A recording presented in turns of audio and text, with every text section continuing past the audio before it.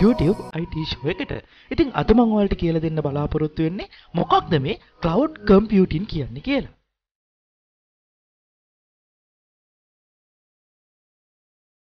තොරතුරු තාක්ෂණික සේවාවන් හා මෙවලම් වලට අන්තර්ජාලය ඔස්සේ ප්‍රවේශ වීමේ ක්‍රමයක් ලෙසින් cloud computing අපිට හඳුන්වලා දෙන්න පුළුවන්.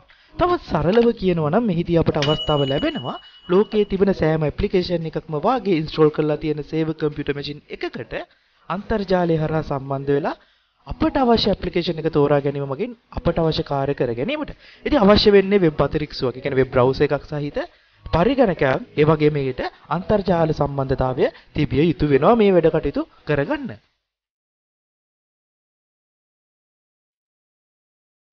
දැන් අපි බලමු ඇයි මේ සේවාවට cloud computing කියන්නේ කියලා. ඉතින් මේට cloud computing කියන්නේ අවශ්‍ය මෘදුකාංග සියල්ල තැන්පත් කරලා තියෙන්නේ අන්තර්ජාලයට සම්බන්ධ සේව කම්පියුටර් මැෂින් එකක. නිසා අවශ්‍ය කාර්ය කිරීමට අදාළ මෘදුකාංග අපේ පරිගණකයේ තුල ඉන්ස්ටෝල් කිරීමට අවශ්‍ය වෙන්නේ නැහැ. ඉතින් එසේම අවශ්‍ය කාර්ය අපේ පරිගණකයේ සිදු කර එම දත්ත හා තොරතුරු සේව කම්පියුටර් මැෂින් එක තුළම තැන්පත් කරන්න පුළුවන් හැකියාවක් මේ හරහා ලැබෙනවා. පසුව එම දත්තවලට ලෝකයේ ඕනෑම ස්ථානයක සිට අන්තර්ජාල සම්බන්ධතාවයක් සහිත පරිගණකයක් ඔස්සේ ප්‍රවේශ වී වී එම ෆයිල් ෆෝමැට් කරන්න, ඒ කියන්නේ එඩිට් කරන්න හැකියාවත් අපිට මේ ක්ලවුඩ් කම්පියුටින් වලදී තියෙනවා.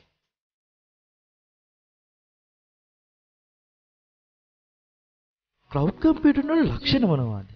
අවශ්‍යතාවයට අනුකූල ස්වයං සේවාව, ඕනෑම තැනක සිට ජාලය පරිශීලනය කිරීමේ හැකියාව, එවැගේම සම්පත් ගොනුව, ශීඝ්‍රයෙන් වර්ධනය වන නම්‍යතාවය, පරිහරණය අනුව ගෙවීම කළ හැකි වීම, ස්ථාන ඉදුම් වලින් ස්වාධීන වීම, අතාත්වික බව, විශ්වාසනීයත්වය, නඩත්තුව සහ ක්‍රියාකාරී බව හා කාර්යක්ෂම බව අපිට ලක්ෂණ විදිහට හඳුනා ගන්න පුළුවන්. ඉතින් මේ සම්බන්ධව උසස් පෙළ හදාරන උසස් පෙළ ICT හදාරන දරුවන්ටත් අවබෝධයක් තිබිය යුතු නිසා ඉතින් ඒ කට්ටියන් එහොත් ක්ලවුඩ් කම්පියුටර් ලක්ෂණ මොනවද කියලා මෙන්න මේ දේවල් ලියන්න පුළුවන්. අපිට ක්ලවුඩ් කම්පියුටර් වල සේවා ආකෘති තුනක් මූලික වශයෙන් හඳුනා ගන්න පුළුවන්. එනම් සේවාවක් වශයෙන් මෘදුකාංග software as a service, ඒ වගේම platform as a service සහ infrastructure as a service. සේවාවක් වශයෙන් මෘදුකාංග, සේවාවක් වශයෙන් වේදිකාව සහ සේවාවක් වශයෙන් යටිතල ව්‍යුහය ලෙස අපිට ආකෘති තුනක් හඳුනා ගන්න පුළුවන්. අපි ඉස්සරහට බලමු මේ මොනවද කියලා. සේවාවක් වශයෙන් මෘදුකාංග සහ අවශ්‍යතාවයට අනුකූල ස්වයං සේවාව එසේත් නැතිනම් පරිශීලකයා සමග ඍජුවම සම්බන්ධ වන මෘදුකාංග මෙහෙයුම් පද්ධතිය පරිගණක ජාල ආදී සහිත අතුරු මුහුණත ලෙස හඳුන්වයි. ලෝකයේ ඕනෑම ස්ථානයක සිට අන්තර්ජාල සම්බන්ධතාව සහිත පරිගණකයක් හරහා අමතර මෘදුකාංග හෝ දෘඩාංග රහිතව ක්ලවුඩ් කම්පියුටින් හි මෘදුකාංග පරිශීලනය කරන්න මෙම ආකෘතියෙන් පුළුවන්. ඉතින් අපිට උදාහරණයක් විදිහට Gmail, Facebook ගන්න පුළුවන්. සේවාවක් වශයෙන් වේදිකාව. මෙම සේවා ආකෘතිය මගින් මෙහෙයුම් පද්ධති පරිගණක වැඩසටහන් භාෂා හා ආශ්‍රිත තත්ත්ව පරිගණක ජාල සපයන නමුත් මෘදුකාංග නම් සපයන්නේ නැහැ. නමුත් අවශ්‍ය මෘදුකාංග අපිට නිර්මාණය කරන්න වටපිටාව එමගින් සලසා දෙනවා. එනම් යෙදුම් වැඩසටහන් අතුරු මුහුණත් සපයනවා. අඩු වියදමකින් වැඩි කාර්යයක් කරගන්න පුළුවන් නිසා පරිගණක වැඩසටහන් නිර්මාණකරුවන්ට මෙම ආකෘතිය වඩාත් ගැලපෙනවා. ඉතින් අපිට Google Engine force.com වගේ එක්සැම්පල් විදිහට හඳුනා ගන්න පුළුවන්.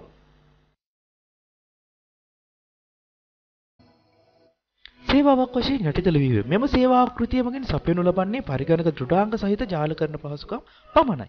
එහිදී අපිට අවශ්‍ය වැඩසටහන් මෘදුකාංග ක්‍රියාත්මක කිරීම සඳහා අන්තර්ජාලය හරහා පරිගණක දෘඩාංග පරිහරණය කරන්න පුළුවන් හැකියාව ලැබෙනවා. ඉතින් උදාහරණයක් විදිහට Amazon Web Services සහ AT&T හඳුනා ගන්න පුළුවන්.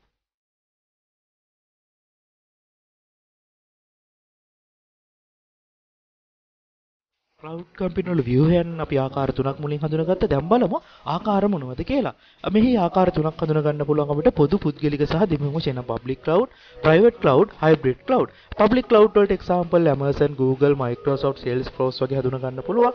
private cloud වලට HP data center, IBM Sun, Oracle, Tritera වගේ හඳුනා ගන්න පුළුවන්. ඉතින් මේ දෙකේම එකතුවක් විදිහට අපිට hybrid cloud හඳුන්වා දෙන්න පුළුවන්.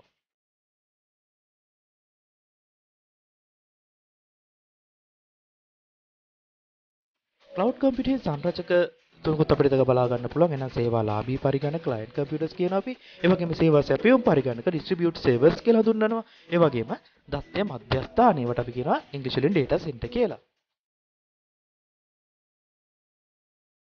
දැන් ඔයාලට දෙක බලා ගන්න පුළුවන්න්නේ ක්ලවුඩ් කම්පියුටින්ගේ වාසි මොනවද කියන දේ ගැන.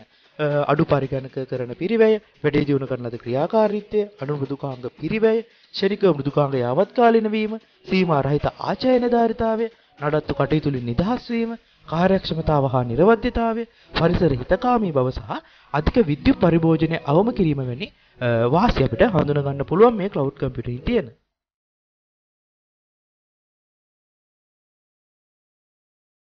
ක්ලවුඩ් කම්පියුටින් වල වාසි වගේම අවාසියකුත් අපිට දෙක බලා ගන්න පුළුවන්. මේ ප්‍රධානතම අවාසිය වන්නේ එය අන්තර්ජාලය මත පදනම් වන නිසා ක්ලවුඩ් කම්පියුටින් වැඩ කරන්න අන්තර්ජාල සම්බන්ධතාවය අනිවාර්යෙන් තිබිය යුතු වෙනවා.